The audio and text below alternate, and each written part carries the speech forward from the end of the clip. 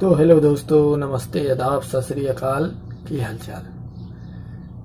चलिए दोस्त आज का इस वीडियो में आप सबको बताने वाला हूँ कि एक भाई है जिसने मुझे कमेंट किया है।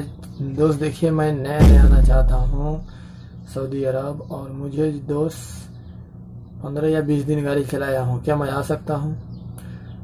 और एक भाई ने मुझे कमेंट किया है कि दोस्त अगर हमने सीट बेल्ट नहीं लगाया है गाड़ी का, और अगर हम सिंगल क्रॉस कर देंगे तो क्या हमें फाइन आ जाएगा या मुखलफा आ जाएगा? ठीक है तो इसी टॉपिक पे दोस्त, आज इस वीडियो में मैं बात करने वाला हूँ, मुखलफा आएगा या नहीं आएगा। ठीक है तो अगर आप अभी तक हमारे चैनल को सब्सक्राइब नहीं किए तो जाइए, जल्दी से सब्सक्राइब कर लीजिए। डेली मुकेश भाई यूट्यूब चैनल में आपका स्वागत है दोस्तों।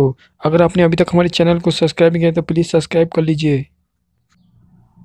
तो दोस्त, मैं फ़र्स्ट बता देना चाहता हूँ उन भाइयों को जिसने मुझे कमेंट किया है कि दोस्त,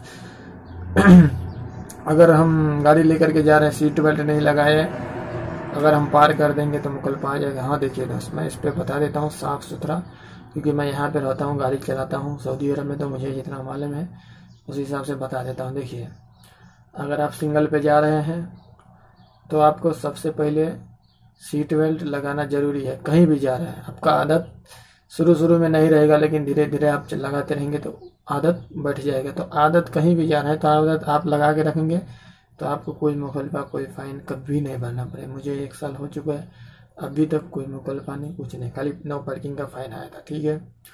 तो दोस्त, मैं आपको बता देता हूँ, सिंगल पे।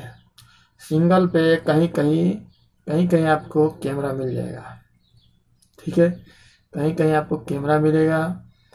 उस कैमरा में कैमरा रहता है, वो जैसे लगेगा कि आपको बिजली कहीं, बिजली गिरता है ना चमकता है, वैसे चमकेगा।